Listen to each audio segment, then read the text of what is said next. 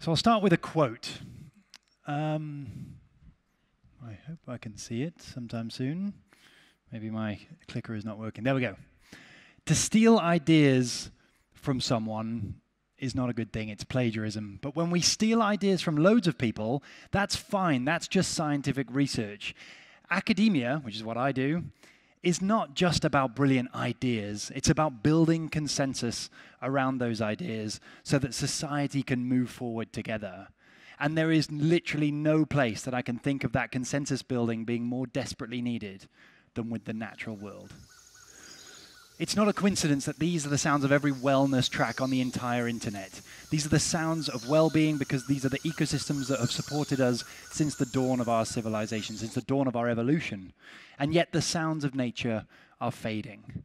And instead, they're being replaced by the sounds of people marching in the streets, marching against the new nature protection laws. And they're marching because they're scared. Scared that nature will come at the expense of their jobs, their livelihoods, their very food security. And these, these concerns are very real and understandable, but they are why we need academic consensus building more than ever before, because these are the exact things that are most fundamentally dependent upon nature. This is what we work on in our group at ETH Zurich. We try to build a consensus understanding of biodiversity, studying the soil microbes, the fungi, the animals that, that give, give life to our entire planet. And in recent years, a lot of that focus has been shifted towards this the global forest system. Often referred to as the lungs of our planet, this is one of the largest stores of carbon on Earth and also the largest home to biodiversity. And a few years ago, we spent a long time studying the structure of this global forest system. We modeled the density of global forests all over the world, which helped us to show that our Earth is home to just over 3 trillion trees. That was a big scale of our understanding. We were criticized immediately for missing the trees in the Vatican City, so we have had to update that number. But 3 trillion and 12 is still a massive global forest system that we're talking about. And that system is absolutely foundational to our survival, obviously. But those models don't only help us to see where trees exist now, they also help us to understand where trees can naturally exist. And we realize that we've, uh, we've pretty much depleted about 50% of the global forest system. But what was exciting from this study is that we were also able to see where trees would naturally exist. And we realized there's about 0.9 billion hectares across our planet where if we could protect them in the long term and allow nature to recover, there'd be room for just over 1 trillion new trees. And those trillion trees, if they were able to reach maturity, could capture about 200 billion tons of carbon. And that number placed nature right in the middle of the conversation around climate change because this is about a third of our climate carbon drawdown needs, which is obviously massive. And suddenly, when, those, when that alliteration hit the headlines, it went absolutely viral. It gave rise, this is now, we are living in the decade, the UN's decade on ecosystem restoration. It gave rise to the WWF's Trillion Tree campaign and then another Trillion Tree campaign from the World Economic Forum. Suddenly, momentum was building around nature. And when governments and companies started pledging their commitments to the restoration of biodiversity, we thought this was a wonderful thing. But at the same time, many also saw it as an opportunity to greenwash. And I think we are now all very familiar with this concept of just buying up land and planting vast rows of carbon capturing trees that grow at the expense of everything else. This is devastating for the climate change conversation because often these are used as an excuse to avoid emissions cuts. But it's also devastating for the biodiversity movement because these carbon farms grow at the expense of the living organisms that would otherwise be there. And it gave rise to a period of academic consensus, I'm sorry, academic controversy that has really undermined the movement for some time. And it gave rise to a really dark period for the last few years. I was criticized personally by some of the, the scientists I respect most highly in this field who said there's no way forests could capture 200 gigatons. I was called an armchair ecologist and much more creative insults. Uh, and soon the headlines started to follow. The same messages started coming through. Rather than focusing on the immense potential of nature to help, instead they were focusing on the risks of restoration done wrong. And these risks are absolutely correct. We are all abundantly aware that the wrong tree in the wrong place can, of course, do a lot more harm than good. But it is worth noting that that is literally the case for everything that has ever existed. If you stick a toothbrush in the wrong place, you can do a lot more harm than good, I'm told. This is not from first, first-hand experience. Um, But these statements are, of course, it's, it's worthwhile being, being, being careful, but they are really damaging in some contexts because they are still used to drive a wedge between nature and emissions cuts and be, between nature and technology that we so desperately need to build a sustainable future.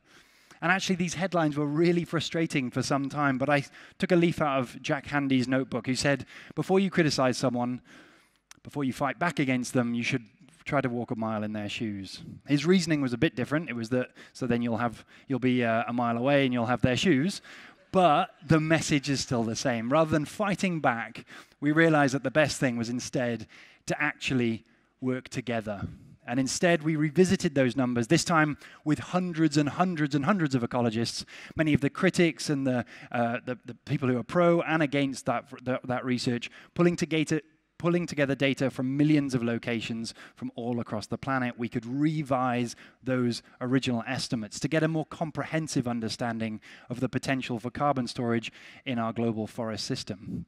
And what was really exciting is that we, when we paired all of those insights and all of those different approaches, including satellite based approaches and ground source data, we realized that we weren't actually overestimating the potential of nature, we were slightly underestimating it. Natural ecosystems categorically are a central component of our climate conversation. They're about a third of our carbon drawdown needs. But the power of nature is not in its monoculture, it is in its complexity. It is only when we have one every species depending on every other species that we build sustainable systems that can lock away carbon. And for that reason, the average intact ecosystem stores about 50% more carbon than the average monoculture in its place. And so, yes, diverse forests can help us with a third of our climate change, of our carbon drawdown needs, but only if we also continue to cut emissions. The data shows quite clearly if we fail to do that, then fires and floods and droughts are going to deplete the scale of that global forest system all the more, only limiting its potential to help us in the fight against climate change. And this time the message came through crystal clear. In the headlines, I was quite happy, and I was even more happy with the scientific response. We had people saying these findings provide clarity and confidence around the role of forests. People said the take home messages were foundational and correct.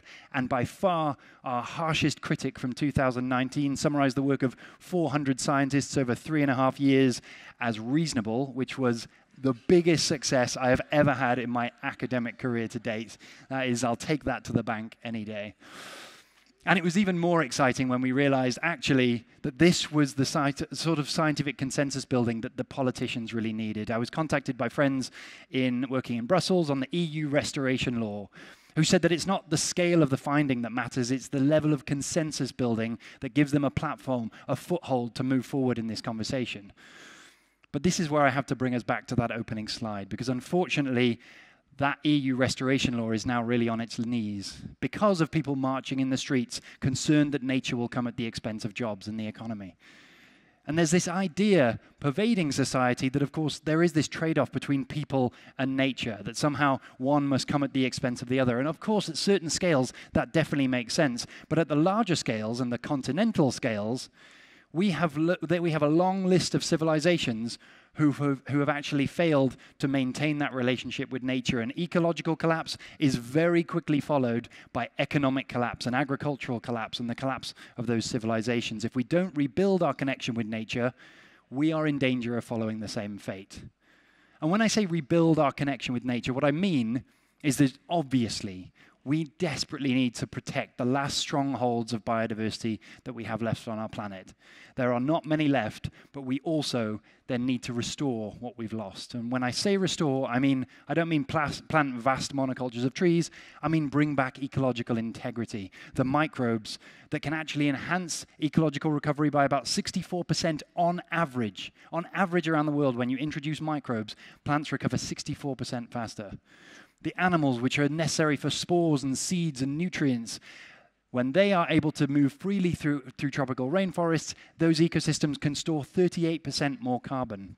But of course, the most critical component of these ecosystems is us. It's the people who live there.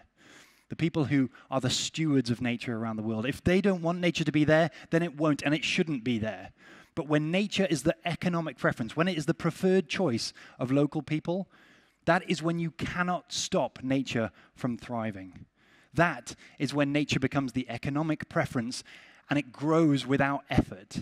And it's for those people, those local stewards of nature, that we actually join forces with those hundreds and hundreds of scientists to build a tool that is available for anyone, anywhere, which is called Restor.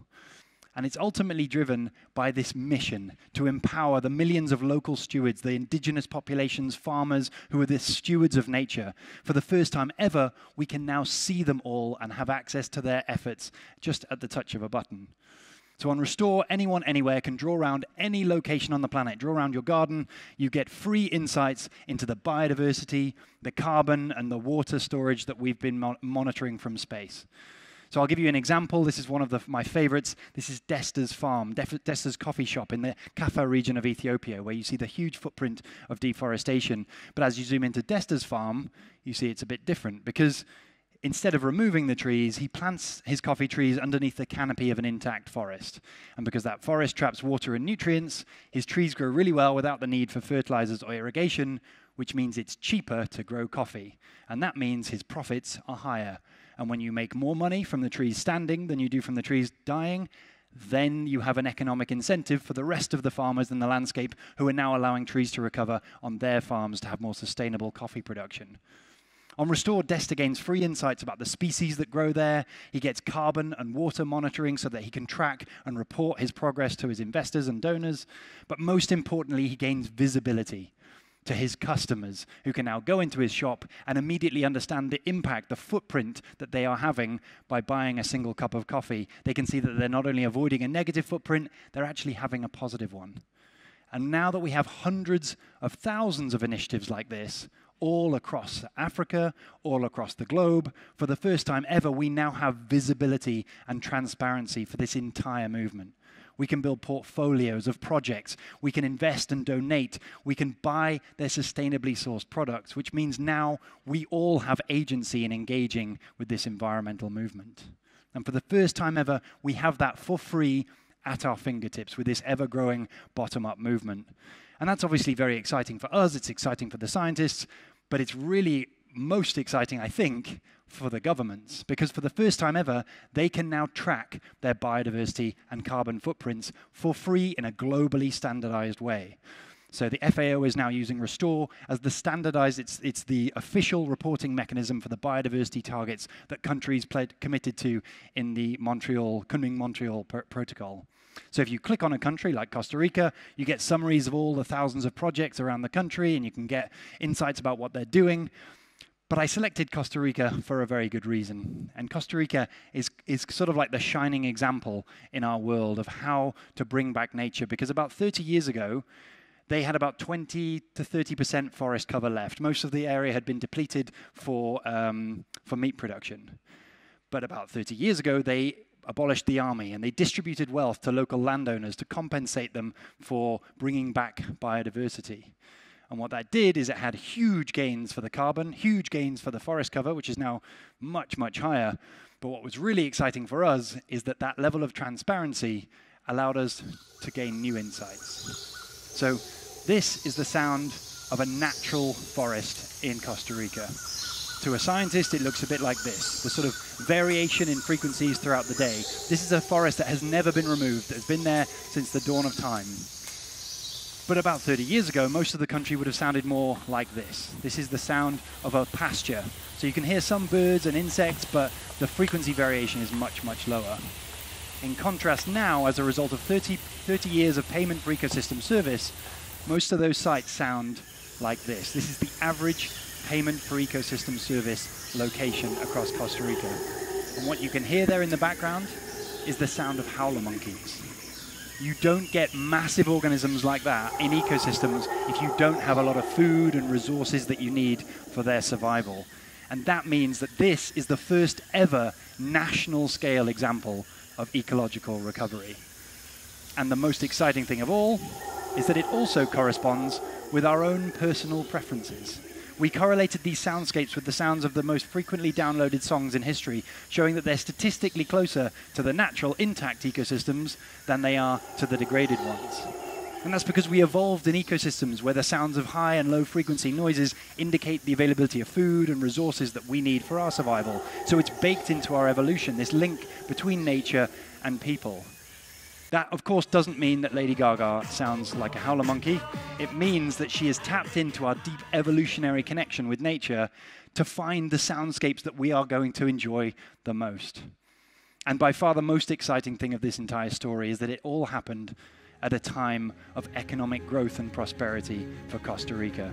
So during this phase, just like, just like Destas and the thousands of other projects around the world on Restor, this is proof that nature can be the economic preference for local people. And when that happens, you cannot stop it from thriving. This collaboration was made possible because of Prince William's Earthshot Prize, and they're now encouraging the same governments to do exactly the same thing all over the world.